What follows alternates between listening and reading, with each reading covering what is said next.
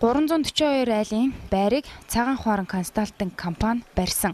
За харамсалтай нь ороо 5 сар болоогүй байхад өнөөдөр байр мөгөнцөртөж чанараа таниулаад эхэлжээ. Агаар муутай саун шиг орчинд амьдарч байгаадаа иргэд гомдолтой байна.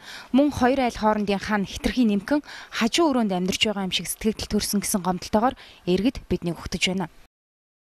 Яг манайх болохоор ингэж ерөөсөө агааргүй. Агааржуулсан нь бүр 0 ерөөсөө ажилтгүй. Тэгээд яагаад байна л та хамгийн гол нь ингээ мөөгөнцөртөд агаарг учраас нэлэх найтай хөхтэй л аяг хэцүү. Одоо тэгээ мөөгөнцөрч одоо тэгэл ерөөсөө хүний дархлааг л устгаад идэх ч ялангуяа нэлэх хөхт чинь тэгээд дархлааг учраас тэгээ би бүр ямар сайн энэ одоо би скол ингээ хоол хийгээд ингээд идэх юм болов гэж бодод бүр ингээд тэр юу хүртэл авч байгаа юм л та. Уур гаргаж шиншүү сорогч аваад тэгэд ямар ч нэмэр байхгүй.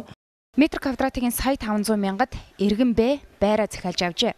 8% зээлд хамрагдсан.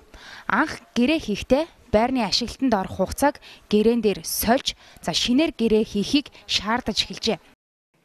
Баянзүрх төргийн 13 дугаар хороо за цагаан хуаран компани барьсан 432 айлын орон сууцнд синий телевизийн сурвалжлах ирсэн байна. Эдгээр айлууд бол үндсэндээ нэг гомдолтой.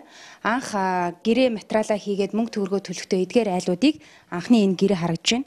2013 оны дөрөвдүгээр уйлралд ашиглалтанд оруулна 2013 оны дөрөвдүгээр уйлралд ашиглалтанд оруулна гэсэн бол байр нь хугацаанд ашиглалтаж ороогүй жил гарan дамсны дараагаар шинээр дахиад нэг гэрээ гараад ирсэн.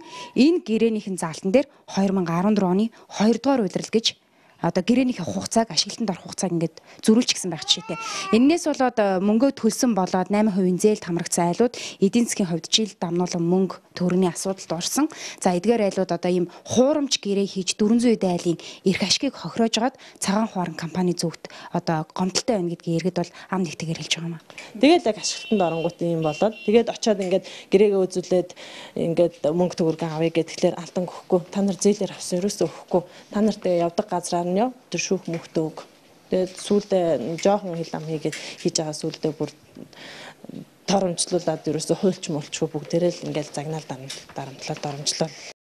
За ямар тач дээрх шиг хөгц мөөгөнцөр болоод Нимхэн ханны тухай иргэдийн гомдлыг мэрэгжлийн хяналтын байгууллага анхааралтай авна гэдэгт найдаж байна.